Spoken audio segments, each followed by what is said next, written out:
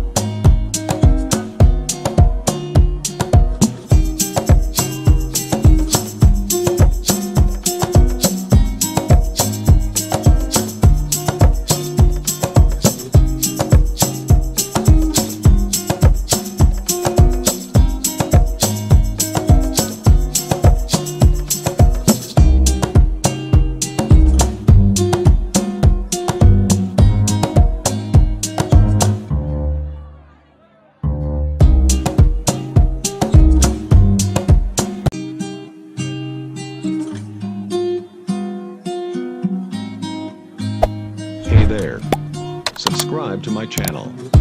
And also press this bell.